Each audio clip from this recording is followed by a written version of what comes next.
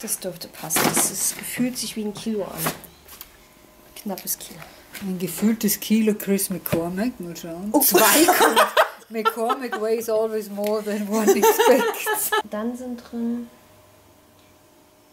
Sticker. Jetzt, ähm, Sleeves, äh, nee. Snazzy Bags habe ich ein paar reingetan, ein paar einzelne.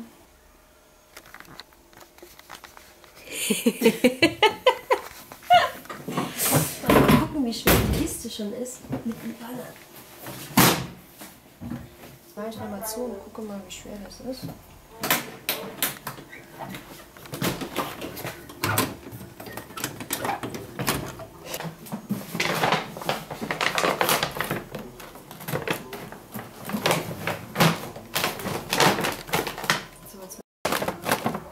Und schlafen. Und wieder wiegen. Und wieder wiegen.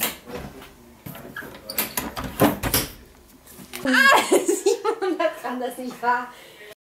Na, weißt du, was wir jetzt machen? Wir nehmen die. Ich weiß nicht, was die Schablonen ausmachen, ob die ein paar hundert Gramm machen. Geister, die haben kein Gewicht.